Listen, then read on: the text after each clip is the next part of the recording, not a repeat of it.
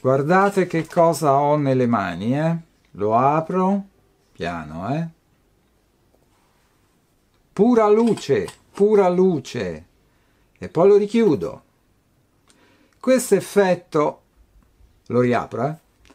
È molto difficile da realizzare, ma veramente difficile. Spi- spido, sfido Spielberg a realizzarlo, perché è difficile. Se fai così e basta, ci riesce anche qualcuno.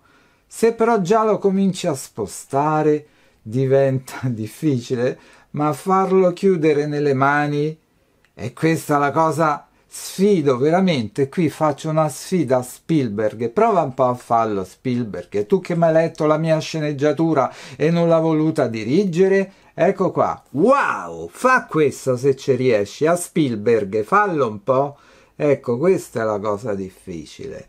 Spostarlo nell'ambiente farlo sparire dentro le mani rifarlo apparire.